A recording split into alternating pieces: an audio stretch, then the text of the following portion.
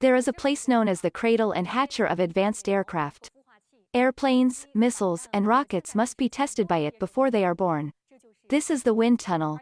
Our protagonist today, who has devoted himself for wind tunnel research for more than 60 years, and he has made our country's hypersonic wind tunnel system accomplish a leap from following others to leading in the world. Today we meet China's hypersonic wind tunnel founder, Yu Hongru.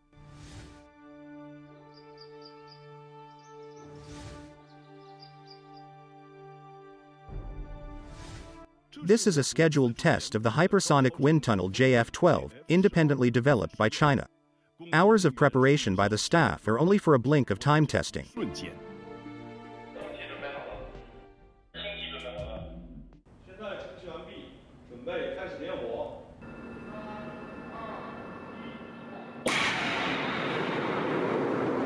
Accompanied by a loud noise, the wind tunnel with a length of more than 200 meters and a weight of hundreds of tons ignited in an instant.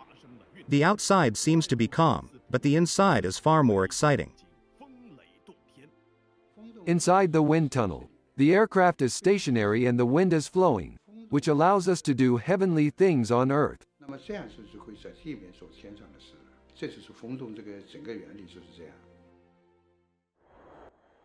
A wind tunnel is to create a sky on the ground. The wind tunnel simulates airflow, flight environment, and various possible situations. It is used to verify the stability and flight attitude of the aircraft or missile, and to judge whether the aerodynamic shape design is reasonable and acceptable. During a JF 12 wind tunnel testing, the whole process often takes only a few seconds. And the real effective data from testing results is only within 0.1 seconds. But it is this 0.1 second data that Yu Hongru has struggled with for more than half a century. In the summer of 1957, after the world's first man-made satellite launched, I was asked to research on wind tunnel, and noticed that it was particularly important to us. The wind tunnel is the most important tool in the country to promote the development of aviation and aerospace vehicles. A generation of wind technology not only determines the development level of a generation of aircraft, but also represents a country's scientific research strength. In the 1950s, China was still a blank in the field of hypersonic wind tunnels. Under the guidance of Guo Yonghuai, the father of two bombs and one satellite, Yu Hongru started to focus on the hypersonic wind tunnel research. No fund, and no adequate conditions, but you had to find a way to do it. The cheapest way is to use chemical energy. For example, when hydrogen and oxygen are mixed to burn, huge amounts of energy are released. The combustion of hydrogen and oxygen produces a lot of energy. Using this energy to create airflow can simulate the flight state of the aircraft at five times the speed of sound or even higher. But hydrogen oxygen combustion has a fatal risk it is easy to explode. When will it explode? How powerful is the explosion? Yu Hongru can only find out by trying, and he must try. We blew up the whole lab. The roof was torn off. Everyone in the Mechanics Institute knew that our group was dangerous, so they told the upper level leaders that the building must be repaired often, but we kept on doing it. They left the building finally.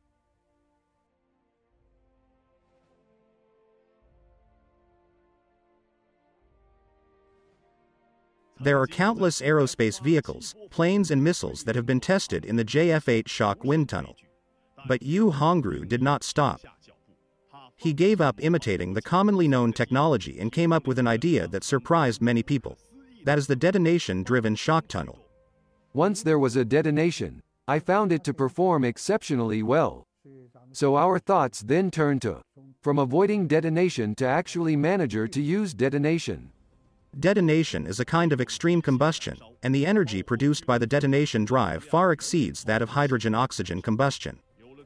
With this subversive idea, Yu Hongru began to silently study how to apply this new driving method, which took him 20 years. In the 1990s, Yu Hongru led his team to build the world's first detonation-driven shock tunnel JF-10. At this time, he then had a new idea.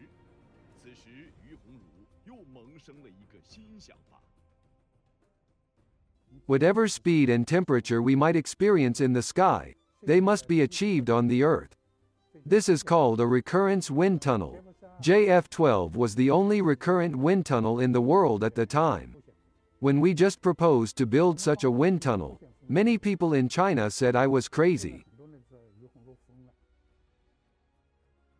Yu Hongru's original reverse detonation driven technology has applied on JF 12, which broke through the main technical bottleneck of traditional wind tunnels and opened a new era of large scale aerodynamic experimental equipment construction in China, and leaped from imitation to independent innovation. Today, this scientific research team, which has been passed down for several generations, is about to build the latest generation JF 22 hypersonic speed shock wind tunnel with the largest and top performance in the world.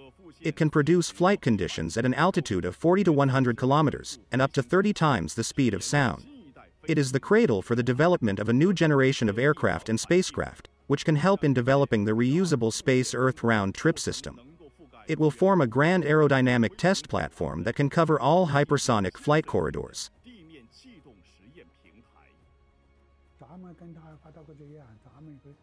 Like developed countries, we can move forward independently.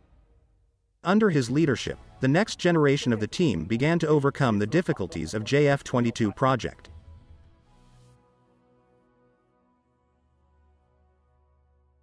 There is such a research team in Huairou Science District in Beijing. They have been tackling key issues in the strategic direction of Qian Xuesen's planning and deployment. Over half a century and several generations, they have created the world's largest shockwave wind tunnel with the most advanced overall performance. It has made great contributions to the development of China's aerospace industry. From now on, we enter our testing phase. The real problems will be found in this period of testing. Everyone has to be very careful. We move forward step by step from low pressure to high pressure, from air to gas, to ensure our safety. The large machine that Jiang Zonglin and his team are installing and testing is the JF-22, the most advanced ultra-high-speed or so-called hypersonic speed wind tunnel in the world. As the cradle for the development of a new generation of aircraft, the JF-22 ultra-high-speed wind tunnel can levitate at an altitude of 40 to 100 kilometers per hour, up to 10 kilometers per second, equivalent to about 30 times the speed of sound, under working flight conditions. For example, the speed of a general airplane is Mach 0.8, while a fighter jet can fly up to 2.5 times the speed of sound.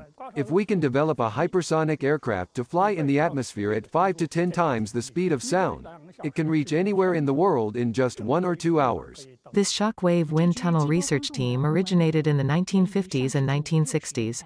Under the strategic deployment of Qian Xuesen and Guo Yonghuai, the Institute of Mechanics of the Chinese Academy of Sciences established the country's first research team for hypersonic shock wind tunnels.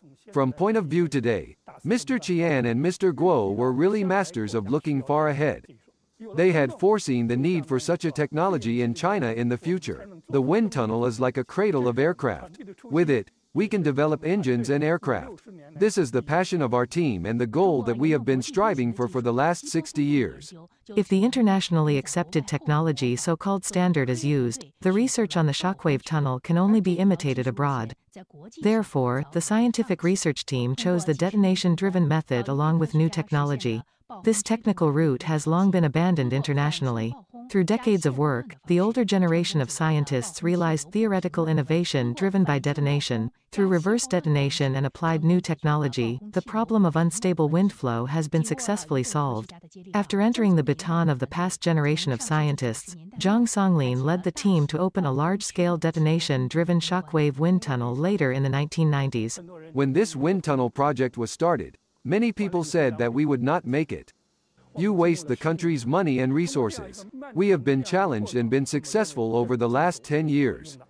Through this long process, we believe that this technology is mature now, and found the theory is correct. From high temperature materials to forming structures, and to sensor design, the research team has repeatedly explored in no man's land and finally achieved a leap from theoretical innovation to technological innovation. In 2012, the JF-12 shockwave wind tunnel with a total length of 265 meters and a test section of 3.5 meters in diameter was successfully developed.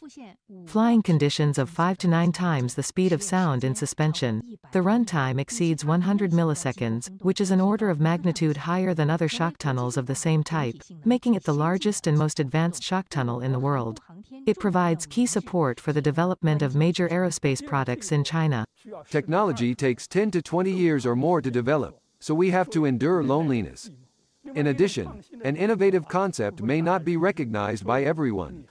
We have to be able to endure criticism. We have to withstand wind and rain. Only in this way, I think we can achieve success from theory to technology, from technology to engineering. After the JF-12 shockwave wind tunnel was completed and put into operation, the data indicators and performance were highly recognized by the industry. Jiang Zonglin, however, fell ill. After suffering from a serious illness due to overwork, part of his lungs was cut off. Even when he was still in his hospital bed, he started research of a new generation of shockwave wind tunnels. Because after all, I am doing unprecedented work and researching unprecedented projects. One of the basic ideas of our research and development of the JF-22 wind tunnel is to go to China one day we will have such a space Earth shuttle system, which can reduce our current satellite launch and spacecraft launch costs by 90%. From Mr. Qian Xuesen, Mr. Guo Yonghuai to Mr. Yu Hongru and then to Professor Zhang, the spirit of the older generation of scientists we have seen has been passed down to the present. In their minds, they all want to serve this country. They rarely care about personal gains and losses. Their influence on us is very big, so we are also following in their footsteps. We also hope to dedicate our youth and our dreams here in the coming decades. As a student of Jiang Zonglin, Han Guilai participated in the development of the JF-12 shockwave wind tunnel. In the latest research on the JF-22 hypersonic speed wind tunnel, Guilai has become the site leader of the entire project. His goal is to work with the team to build this unprecedented super large-scale hypersonic wind tunnel. A bursting instant peak power of this new wind tunnel is near to the Three Gorges Dam generating power. Our country is already very strong, but our nation is still rejuvenating. We need to put our personal talents to the fullest in this place. This is our belief. Only by combining your research with national needs can your research results have a high degree of value, and can you show yourself loyalty to the country.